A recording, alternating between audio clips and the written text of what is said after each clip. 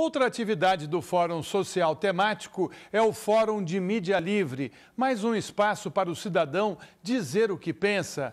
Esse encontro é tema do Outro Olhar de hoje. O vídeo foi produzido por Nelson Pombo Júnior, que participa do fórum.